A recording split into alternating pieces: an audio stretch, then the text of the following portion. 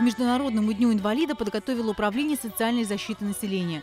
Со сцены звучат такие нужные людям слова поддержки от представителей администрации. От имени главы а, Солнечногорского района Владимира Слепцова я хочу сказать, что администрация будет делать все возможное а, и поддерживать программу «Доступная среда». Спасибо вам большое.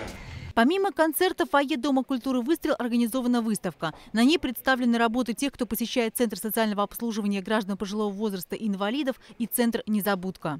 Хочется отметить, а, а, что люди с а, ограниченными возможностями здоровья – это люди, которые имеют безграничные возможности. Это очень творческие люди, это люди особого склада характера. И они настолько э, талантливы, настолько им э, хочется себя проявить и показать, и они большие молодцы. Э, дорогие друзья, от всей души Поздравляем вас с Международным днем инвалида. Желаем вам бодрости духа, крепкого здоровья, чтобы все всегда у вас получалось, и чтобы любовь и забота близких всегда окружала вас. С праздником! Оксана Зенкина, Дмитрий Кузякин. Наше время.